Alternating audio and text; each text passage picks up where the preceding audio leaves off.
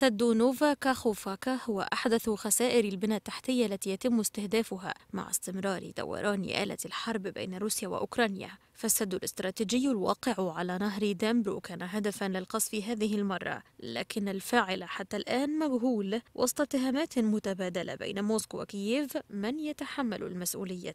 صراع نوفا كاخوفاكا وصل إلى طاولة مجلس الأمن فقد حمل مندوب روسيا لدى الأمم المتحدة أوكرانيا مسؤولية تفجير السد مشددا على ضرورة تحمل الغرب وكييف مسؤولية هذه الكارثة.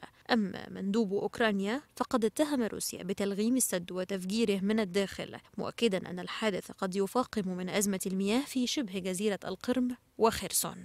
وعلى الجانب الآخر حيث بلغورد التي أعلنت وزارة الدفاع الروسية أن قواتها تصدت فيها لمحاولة توغل أوكرانية باستخدام الدبابات وقوات المشاة وأجبرتها على التراجع. وفي منطقة الصراع القديمة الجديدة باخموت حيث عادت لتشكل منطقة حرب رئيسية بين روسيا وأوكرانيا مجددا بعدما أرسلت كييف الجنود والمدفعية والدبابات في تركيز للقوة النارية بشكل غير مسبوق. في وقت لا تزال فيه روسيا محتفظة بكثير من قواتها هناك. وفي مفاجأة كبيرة أقرت روسيا ولأول مرة منذ بداية الحرب بخسائر بشرية كبيرة بعدما أعلنت على لسان وزير دفاعها سيرجي شويغو مقتل 71 جنديا وإصابة العشرات خلال تصدي الهجوم الأوكراني على مدى ثلاثة أيام.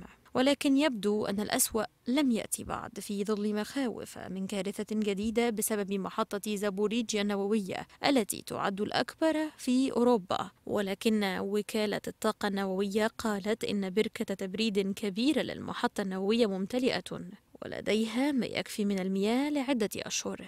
إذا فصل جديد شهدته الأزمة الأوكرانية بعد أن انفجر جزء من سد نوفا كاخوفاكا الاستراتيجي المهم في جنوب أوكرانيا وغمرت مياهه المنطقة. فهل تواصل روسيا وأوكرانيا كرة الصراع المتدحرجة؟